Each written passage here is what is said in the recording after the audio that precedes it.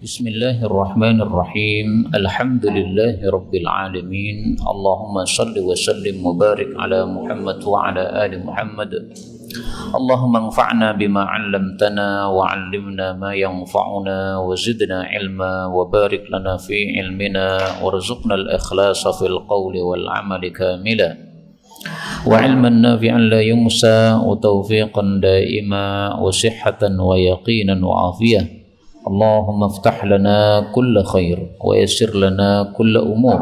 اللهم انصر المجاهدين وارحم المستضعفين ودمر أعداء الدين واطمس على أموالهم. آمين يا رب العالمين. Alhamdulillah kaum muslimat rahimani wa rahimakumullah kita lanjutkan pengajian kitab Arba'in Fis Safar. Arba'in tentang Safar. Dan ini adalah pertemuan terakhir kita untuk kitab ini. Karena hanya tersisa lima hadis saja. Insya Allah kita selesaikan dalam pertemuan ini. Bisa dilihat pada halaman 34 Faqala al-muallif rahimahullah wa hafizahullah. Adab setelah safar. An Aisyah radhiyallahu anha qalat qala Rasulullah sallallahu alaihi wasallam Idza apabila qada telah menyelesaikan ahadukum salah satu kalian hajjahu hajinya falyu'ajjil maka hendaklah dia menyegerakan ar-ruju'a pulang ila ahlihi kepada keluarganya. Fa innahu karena sesungguhnya hal itu a'zamu lebih besar li ajrihi terhadap pahalanya. Hadis diriwayatkan oleh Imam Hakim. Kaum muslimat rahimani wa rahimakumullah hadis ini menunjukkan Salah satu adab safar adalah segera pulang kalau sudah selesai. Ini agak rusak bang Baik, nggak apa-apa yang penting suara saya terdengar. Bahwasanya kalau kita sudah selesai melaksanakan eh, keperluan kita dalam bersafar, maka paling bagus kita segera pulang karena kalau kita segera pulang itu kita sudah menyenangkan keluarga yang kita tinggal. Istri ditinggal safar itu pasti kurang senang ya karena biasanya dibantu oleh suaminya kemudian tidak ada yang membantunya. Nah, maka ketika dia pulang menyenangkan istrinya. Anak-anaknya juga begitu sudah rindu dengan bapaknya maka segera pulang menyenangkan anak-anaknya Nah, maka menyebabkan pahalanya menjadi besar dari sisi ini yaitu um, apa menyenangkan hati orang lain. Kemudian hadis ini menyebutkan kata-kata haji tetapi hukumnya tidak khusus untuk haji, apa pun safar sama saja. Adapun Rasulullah menyebutkan haji karena safar haji biasanya lama dari Madinah menuju ke Mekah itu sekitar tujuh hari perjalanan onta. Itu baru perjalanannya. Kemudian aktivitas ibadahnya mungkin juga sampai satu pekan. Dari tanggal 8 sampai tanggal 8, 9, 10, 11, 12, 13 ya 6 hari.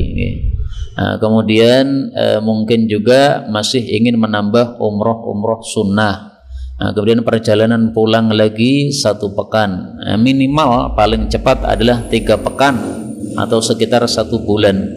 Maka meninggalkan keluarga secara lama seperti ini bisa menyusahkan mereka sehingga ketika segera pulang menyenangkan hati mereka pahalanya menjadi lebih besar. Kemudian dari hadis ini kita ambil pelajaran bahwa Rasulullah Shallallahu Alaihi Wasallam beliau mengajarkan kepada kita bagaimana supaya amalan-amalan kita pahalanya besar. Jadi beliau mengajari kita untuk berpikir bagaimana supaya dapat pahala yang besar atau yang banyak. Rasulullah tidak mengajarkan kepada kita pikiran-pikiran dunia, bagaimana supaya bisnis hasilnya besar, nggak pernah ada itu. Tapi yang diajarkan oleh Nabi semata-mata masalah akhirat karena kehidupan akhirat lebih penting daripada kehidupan dunia. Kemudian hadis 37. Ini saya coba nggih, saya pegang barangkali lebih enak.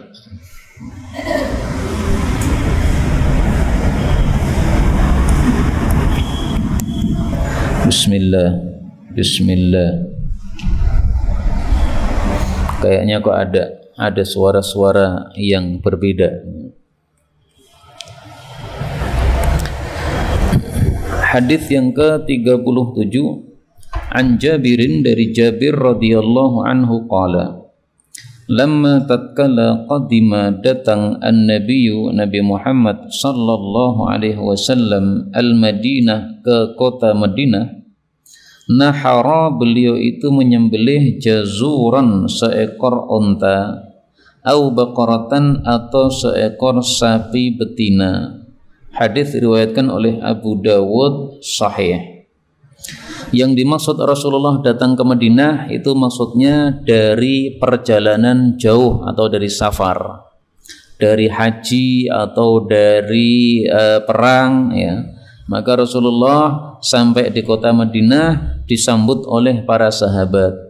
Nah, karena yang menyambut itu banyak, akhirnya Rasulullah menyiapkan makanan untuk mereka. Bismillah. Bismillah. Kok malah tambah mati nih?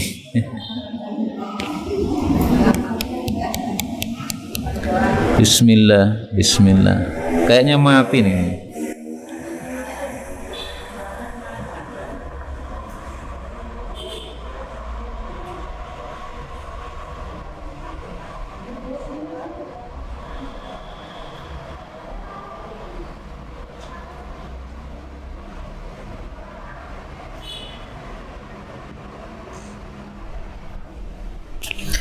Bismillah.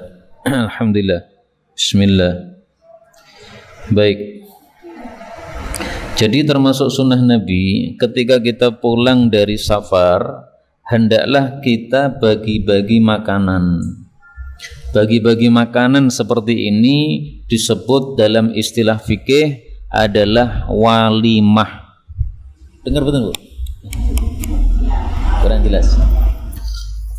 Kita ulangi lagi hadis yang ke-37. Rasulullah kalau datang ke Madinah maksudnya pulang dari safar beliau menyembelih unta atau sapi betina. Ini dalam rangka memberi makan kepada orang-orang yang menyambut beliau. Memberi makan seperti ini dalam fikih disebut walimah Walimah itu ada macam-macam para ulama mengatakan ada delapan macam walimah. Salah satunya walimah safar yaitu ketika pulang dari safar seperti ini. Nah tadi saya tulis di papan tulis itu kosakata Arab dalam bahasa Arab unta itu kalau jantan disebut jamal, kalau betina disebut nakoh, kalau ba'ir itu onta secara umum bisa jantan, bisa betina. Jazur juga begitu, bisa jantan, bisa betina. Ya, maka di sini disebutkan jazur, ini bisa onta jantan, bisa onta betina. Kemudian dalam bahasa Arab juga kalau sapi itu dibagi dua, kalau jantan saurun, kalau betina bakorotun. Nah, di sini lafalnya bakoroh maka ini artinya yang lebih komplit ini semestinya sapi betina. Kalau kambing itu dibagi dua. Ada makzun kambing biasa ada donun kambing domba.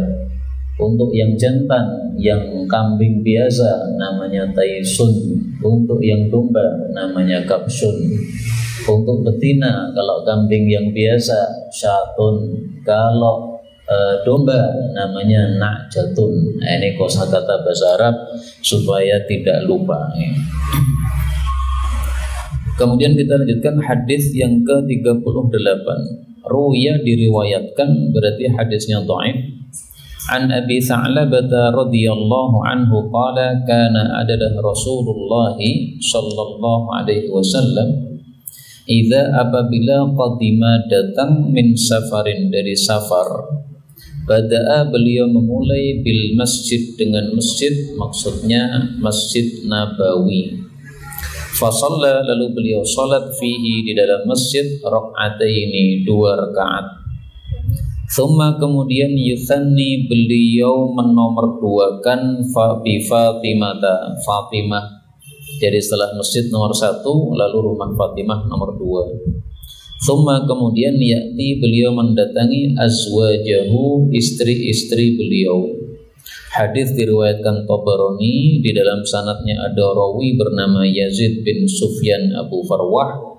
Dia seorang perawi yang muqaribul hadis, sedang-sedang hadisnya. Ma'adhafin tetapi ada kedhaifan di dalam dirinya. Wassalatu dan salat fil masjid di dalam masjid indal qudum ketika pulang dari safar rawahul Bukhari itu juga diriwayatkan Bukhari fi nahwi pada sekitar isrina maudi'an 20 tempat di dalam kitab sahihnya Kaum muslimat rahimani wa rahimakumullah Hadis ini menunjukkan disunahkannya Selesai kita safar Tidak masuk rumah langsung Tapi mampir di masjid kampung di mana kita biasanya sholat di situ. Sunnahnya adalah melakukan sholat sunnah dua rakaat, baru kemudian kita masuk rumah. Jadi ini termasuk sunnah yang sudah dilupakan banyak orang karena banyak orang bersafar kemudian tidak memulai dengan masjid maka alangkah bagusnya kalau sunnah ini kita lakukan Salat dua rakaat ini dilakukan oleh Nabi Shallallahu Alaihi Wasallam ada hikmahnya. Hikmahnya apa? Beliau biasanya kalau safar kemudian pulang itu para sahabat pada mendatangi beliau, menjumpai beliau. Nah kalau beliau langsung masuk rumah berarti para sahabat tidak akan bisa semuanya menjumpai beliau karena rumah beliau itu sempit kecil maka beliau sholat di masjid yang tempatnya luas para sahabat menemui beliau baru kemudian beliau masuk rumah tapi sunnah ini meskipun kita tidak seperti beliau, tidak ada orang menyambut kita, tetap sunnah ini bisa dilakukan. Ibu-ibu pulang dari safar, hampir masjid kampung, sholat dua rakaat, baru pulang ke rumah. Kemudian dari hadis ini kita ambil beberapa faedah. Faedah yang pertama adalah bahwa Rasulullah sangat cinta masjid sehingga pulang dari safar itu yang dimasuki pertama kali bukan rumahnya tapi adalah masjid beliau. Nah cinta kepada masjid ini termasuk tanda-tanda orang yang imannya sempurna. Sehingga Rasulullah bersabda, nanti di hari kiamat Allah kasih naungan dari panasnya matahari orang-orang yang hatinya cinta atau terikat kepada masjid. Setiap sholat lima waktu datang ke masjid, ini tanda hatinya cinta kepada masjid. Faedah yang kedua, hadis ini menunjukkan bahwa Rasulullah sangat cinta kepada putrinya yang bernama Fatimah. Sehingga setelah sholat beliau masuk rumahnya Fatimah. Ini sudah saya tulis di papan tulis itu nama-nama is anak-anak Nabi Muhammad Wasallam ada berapa itu ada delapan ya empat cowok empat cewek yang cowok yang pertama Qasim makanya Rasulullah disebut Abul Qasim bapaknya Qasim karena Qasim itu anak pertama yang laki-laki. Anak yang kedua namanya Abdullah. Yang ketiga namanya Qahir. Yang keempat namanya Tayyib. Berarti ada berapa? Keempat. Tetapi yang populer anak beliau laki-laki cuma dua, yaitu Qasim sama Abdullah. Adapun Tahir sama Tayyib itu hanya julukan bagi Abdullah. Jelas ya? Jadi semestinya nomor 3 dan 4 itu dihilangkan.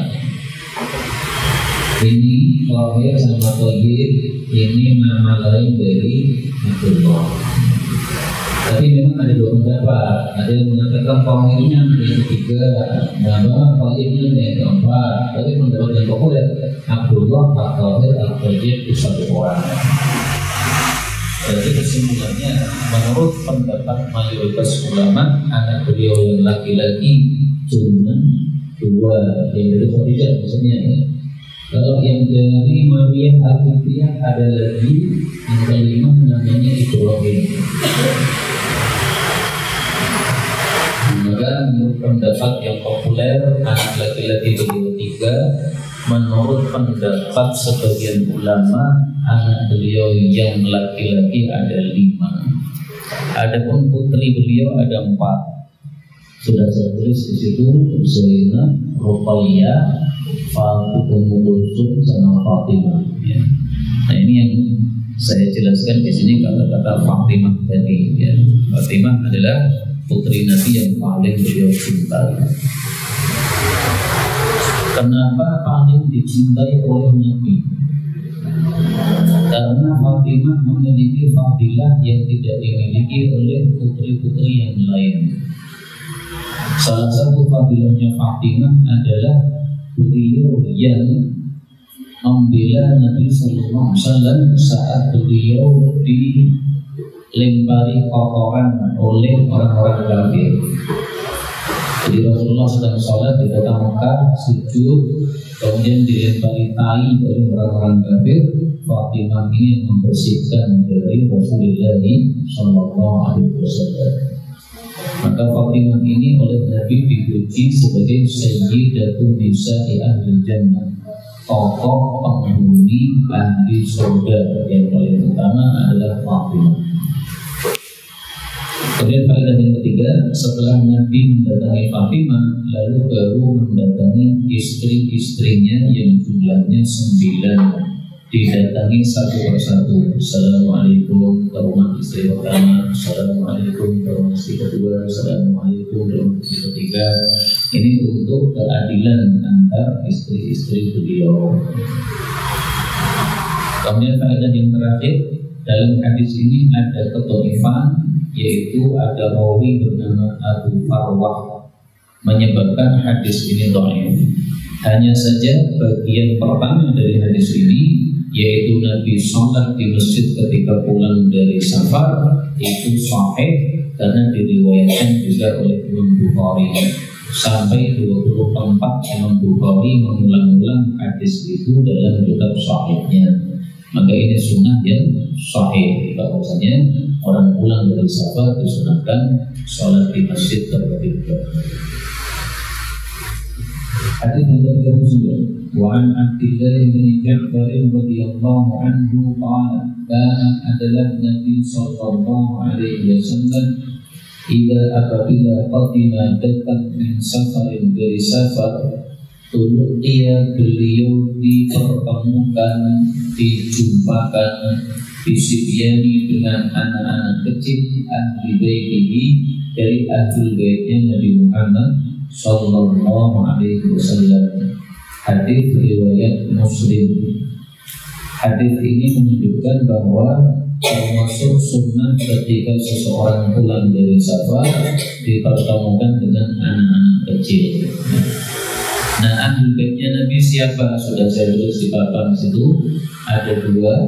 Yang pertama Bani Hashim, yang kedua Bani Muttalib itu keluarga atau ahli bait Rasulullah Shallallahu Alaihi Wasallam maka semua yang termasuk keturunan Bani Hashim yang termasuk Ahlul Bait semua yang keturunan Bani Muthalib ini adalah termasuk Ahlul Baitnya Rasulullah Sallallahu Alaihi Wasallam.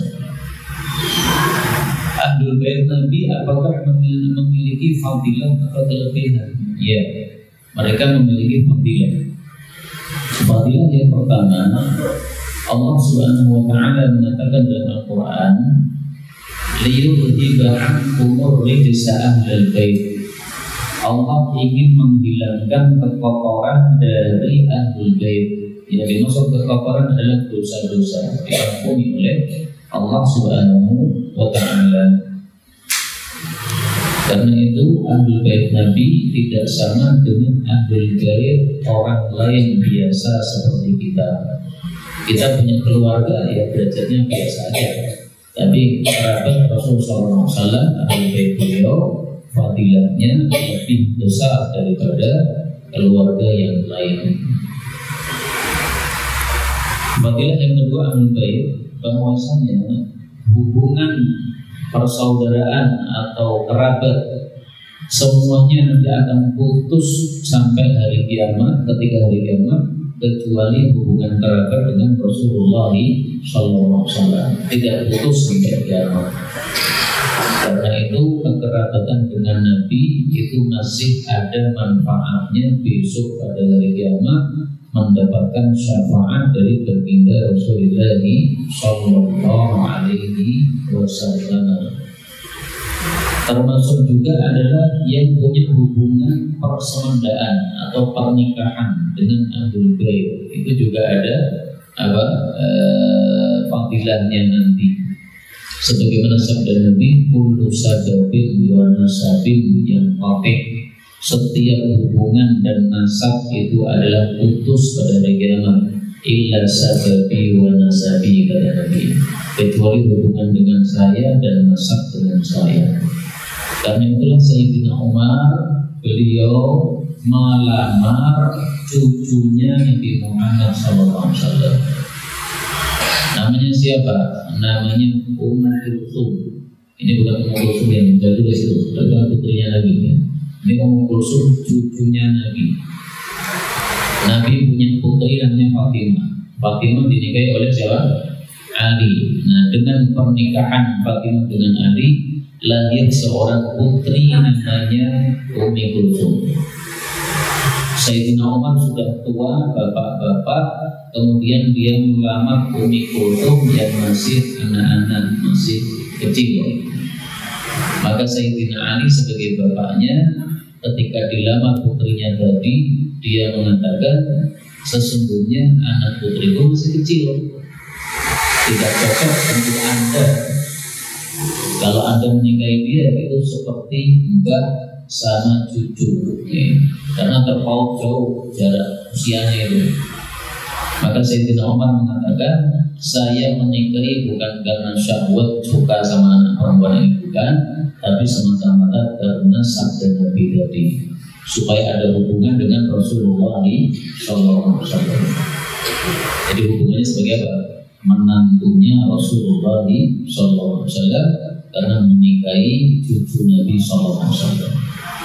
Akhirnya Sayyidina Ali menyuruh Umi Kulthum untuk datang ke rumah Sayyidina Umar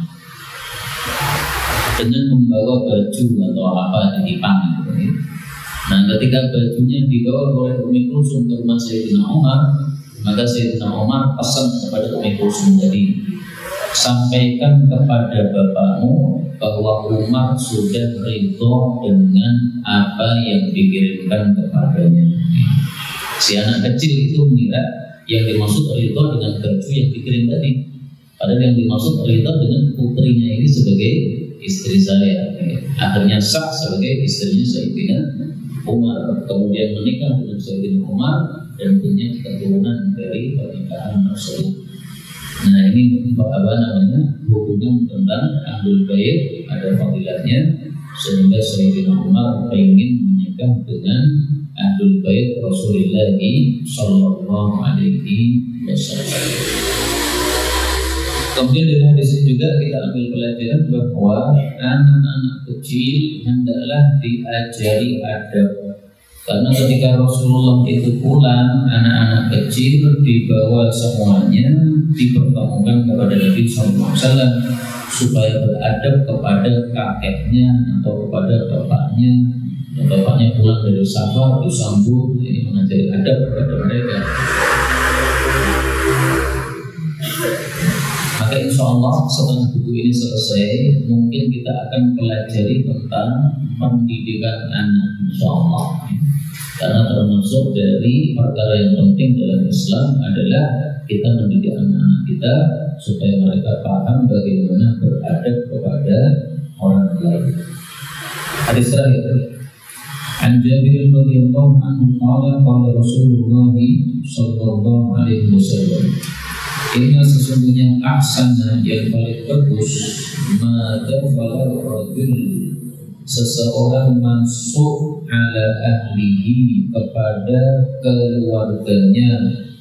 Ida qadima jika datang min safarin dari safar adalah awal lail awalnya malam. Hadis diriwayatkan oleh Abu Dawud. Kaum muslimin rahimani rahimahullah yang dimaksud dakhala masuk itu maksudnya adalah mengumpuli. Maka maksud hadis ini adalah kalau seseorang pulang dari safar dan dia tidak membawa istrinya ketika safar maka paling bagus setelah pulang ke rumah hubungan suami istri di awal malam. Awal malam itu kapan? Ya pada isya atau pada maghrib pada maghrib boleh itu sudah masuk malam. Pada isya juga boleh itu juga masih termasuk awal malam Kenapa paling bagus suami mengumpuli istrinya ketika pulang safar itu adalah awal malam? Karena istri sudah lama ditinggalkan. Sehingga ketika awal malam melakukan hubungan itu segera menunaikan kewajiban. Itu maksudnya tidak bagus ditunda sampai dua malam atau ditunda akhir malam. Yang paling bagus adalah di awal malam. Maka hadis ini bicara tentang menunaikan hak istri setelah suaminya safar meninggalkan istri tersebut. Kemudian dari hadis ini juga kita ambil pelajaran bahwasanya diperbolehkan mohon maaf hubungan suami istri di awal malam karena sebagian masyarakat berpendapat tidak sesuai sunnah hubungan itu dilakukan di awal malam. Nah, pendapat tersebut terbantah dengan hadis ini. Bahkan di sini Nabi membasuh masuknya suami kepada keluarganya yaitu kepada istrinya adalah pada awal malam kalau dia pulang dari safar. Memang dalam hadis yang lain Rasulullah itu sholat tahajud. Selesai sholat tahajud baru hubungan suami istri. Tapi bukan berarti makruh untuk hubungan di awal malam maka hubungan di awal malam boleh, di akhir malam juga boleh, di tengah-tengah malam juga boleh. Sebelum tidur boleh, ketika melilir boleh, ketika selesai tahajud juga boleh. Semua itu awal semuanya. Sampai di sini sudah selesai hadis-hadis yang kita baca dari buku ini. Barangkali ada pembahasan baik yang berkaitan dengan tema atau yang lain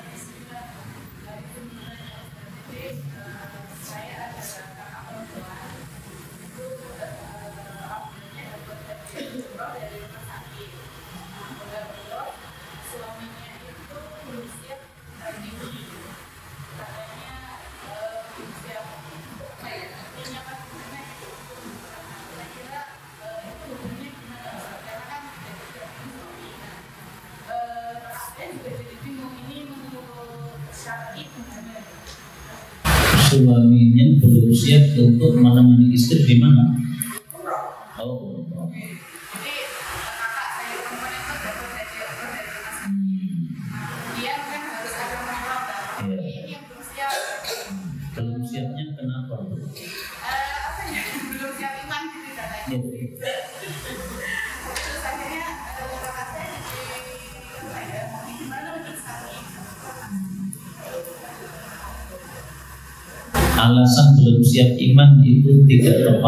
Sehingga harus berangkat. Sampaikan saja silahkan berangkat imannya nanti besar kalau tanpa mahram tidak boleh.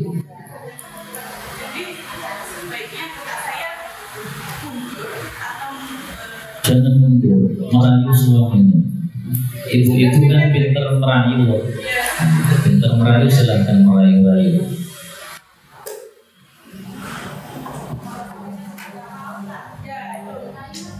Gracias.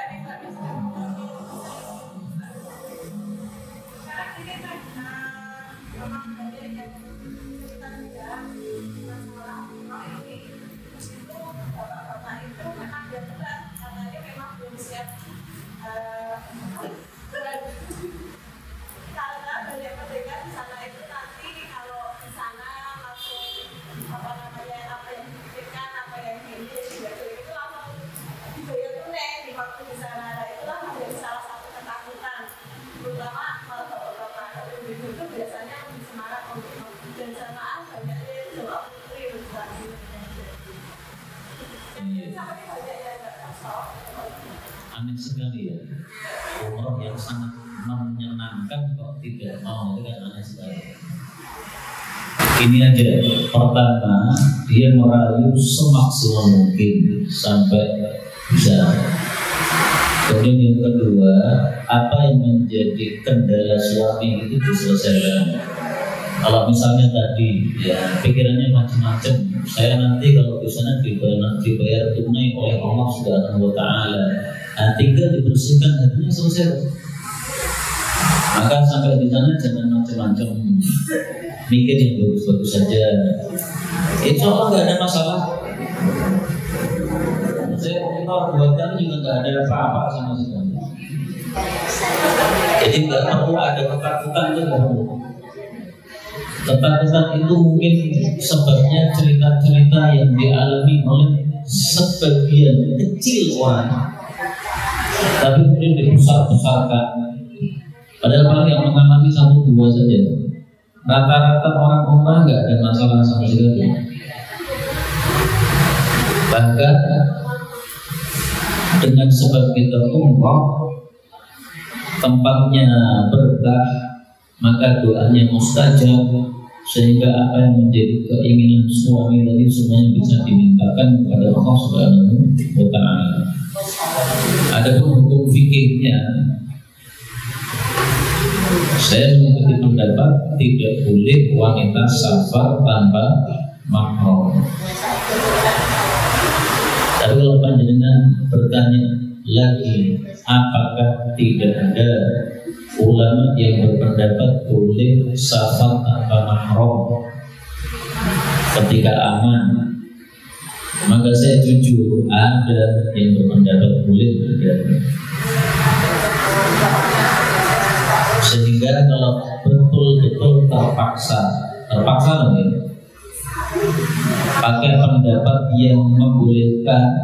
Ya silakan. Tapi saya tidak menyarankan. Nggak mau. Jadi saran saya gimana? Jangan menyerah dulu.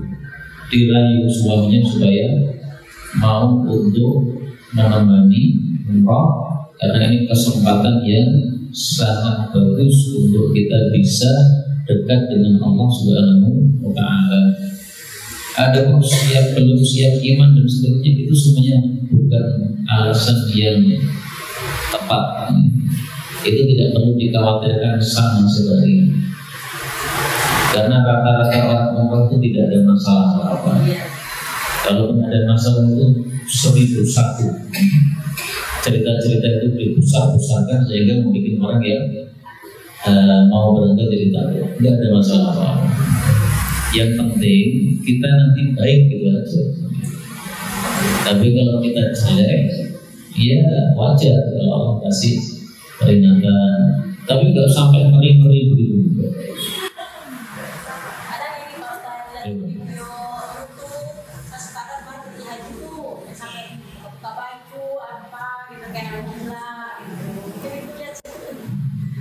ya itu kayaknya seribu satu itu hanya dibesar-besarkan nggak ada masalah sebenarnya.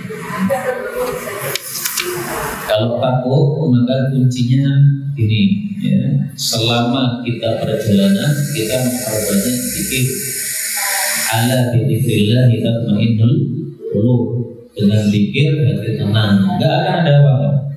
Dan saya jamin dulu kalau banyak pikir tidak akan ada apa-apa. Itu ketakutan yang tidak semestinya terjadi. Itu seperti seorang pemuda sudah waktunya menikah tapi ketakutan sendiri. Gimana kalau saya lama nanti ditolak? Nah kalau ketakutan begitu sampai kiamat gak akan lama-lama namanya orang lama itu bisa diterima bisa ditolak. Maju aja maka itu bayang-bayang ya kalau semestinya tidak muncul. Pon Bismillah bangun jam 2 Salat tahajud Doa kepada Allah. Ya Allah bukakan hati suami saya. Insya Allah dibukakan oleh Allah Subhanahu wa ta'ala. Doanya yang sungguh-sungguh Ada lagi mungkin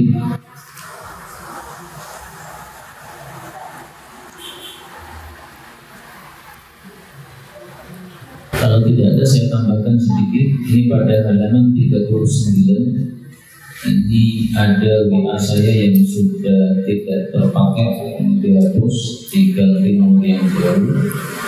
Kemudian kajian-kajian ini rata-rata adalah kajian pada maghrib sampai isya nah kajian pada maghrib sampai isya itu fadilahnya adalah kita akan dibanggakan oleh Allah di hadapan para malaikat-malaikatnya.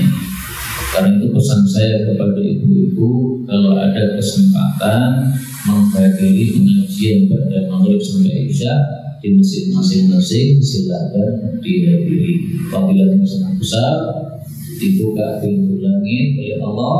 Allah katakan kepada malaikat ini hati hamba saya sedang menunggu kewajiban setelah menunaikan kewajiban sehingga nama kita jadi tenar di hadapan para malaikat-malaikat Allah Subhanahu wa taala. Kalau di masjid-masjid kita tidak ada kajian pada maghrib sampai isya dan waktu kita longgar antara maghrib sampai isya sangat disarankan panjenengan berada di masjid untuk membaca Quran ibadah sendiri. Dan ini yang saya terapkan di pesantren yang ada di rumah saya. Santri semuanya pada maghrib sampai isya jadwalnya di masjid. Nah supaya mereka tidak bosan mereka saya kelilingkan hari ini hari Rabu di masjid timur hari Kamis nanti di masjid barat hari Sabtu masjid selatan lagi karena di sana ada kajian yang beraneka ragam di setiap masjid pada maghrib sampai isya. Tujuannya supaya menjadi adat kebiasaan kita tidak pulang ke rumah, tapi setelah maghrib tetap berada di masjid sampai isya. Waktunya sangat singkat, 45 menit, tapi fadilahnya sangat. Ada lagi mungkin sebelum itu.